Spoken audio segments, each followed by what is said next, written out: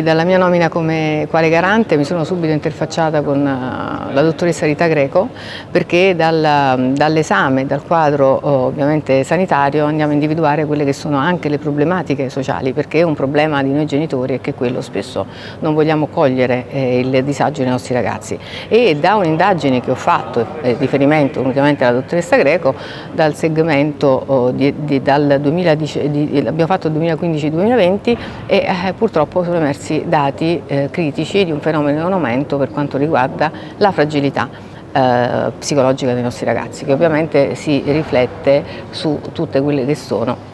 le, le, le, gli innesti dall'anoressia, disturbi alimentari, l'assunzione di droga, eh, le dipendenze dei social, insomma abbiamo un quadro importante. Poi eh, l'altro, che questo è un tavolo che vuole esaminare, è anche le problematiche ovviamente proprio sanitarie, bambini oncologici, eh, abbiamo l'opera eccellente di Tumini per quanto riguarda il, il, i bambini eh, diabetici, che ne abbiamo circa 700 in Abruzzo, è da considerare che i genitori purtroppo sono poi ehm, prigionieri eh, di un, un sistema in ambito scolastico che devono sempre gravitare intorno ai figli per problemi eh, che possono avere all'interno scolastico, invece dovrebbero essere tutelati stesso, dal, eh, vincolati da questo.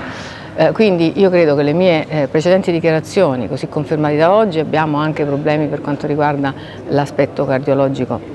dei, dei, ragazzi, ci sono casi di morti improvvise e eh, quindi un'analisi complessiva. Io eh, evidenzio che la mia eh, dichiarazione precedente, che era proprio rivolta alle problematiche sociali, è stata decontestualizzata eh, in modo ovviamente eh, improprio da genitori che hanno figli con la dipendenza. Non sono certa che un giorno ci ringrazieranno perché noi siamo il primo tavolo regionale a livello nazionale che affronta in modo concreto la tutela della salute, e ribadisco, dei nostri ragazzi e un richiamo alla responsabilità genitoriale. Un mio ringraziamento va al Presidente della eh, Regione eh, Marco Marsilio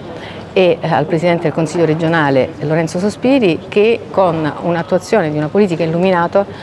va a investire e crede realmente nel futuro della nostra società, del nostro Paese che sono i ragazzi.